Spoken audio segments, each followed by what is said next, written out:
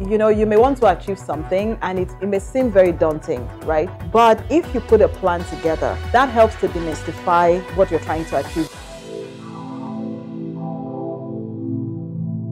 I run uh, Google Nigeria and our strategy across uh, West Africa, and um, I'm very passionate about digital transformation as well as um, leadership and personal effectiveness. I uh, put together these five F's as uh, obstacles to getting results, right? One is failure to plan, right? Because you know you may want to achieve something and it, it may seem very daunting right but if you put a plan together that helps to demystify what you're trying to achieve because in putting a plan together then you, you create milestones it's like dividing a, a, a, huge chunk into small jobs, right? It becomes less daunting and you can see, it helps you to unpack it and you can see, okay, for me to get from A to Z, what are the steps I need to take? Which brings me to the second one, which is, you know, um, failure to take the first step, right? Again, you can't jump from A to Z, right? You can only operate from where you are, right? So you take the step from where you, where you are. It may be from A to B, B to J, J to M, etc., until you get to, to Z. And there's this interesting analogy of, you know, if I'm going from Lagos to Ibadan, right? I can't see the whole journey from the start. I can only see maybe the next one kilometer and the next one kilometer. But because I have a very clear vision and I have direction, that vision gives me direct. The vision is to get to Ibadan, and I have that uh, direction as a result. I can get all the way from Lagos to Ibadan by seeing just the next one kilometer, the next one kilometer, etc.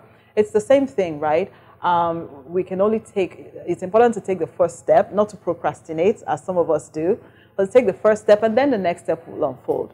The third F is uh, failure to recognize signals. These signals are very important data points that give us feedback to sanity check if we're going in the right direction or not. We've had a lot of uh, you know, case, case examples of organizations that did not do a great job recognizing signals. Like for example, Kodak. You know, at a point in time, that was the master of photography but they weren't very, very quick to recognize the signals around, you know, digital photography and they, you know, they, they were pushed out of the industry from that perspective. There are so many other examples. So it's very important for us to see the signals, you know, like know your customer, understand, you know, how are they relating with your products? What, what's the feedback? How's the environment changing? What's the competitive landscape?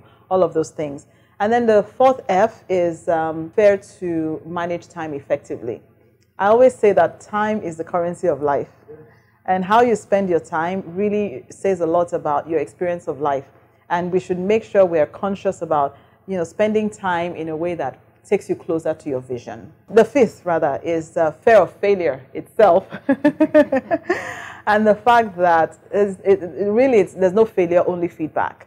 If you look at uh, some of the great successes, and, and just really look at the entire journey, you'll realize that there have been there were many fail, quote unquote failures along the way, right? But people use that as an opportunity to learn something to re-strategize, to maybe change direction or to have an expanded focus.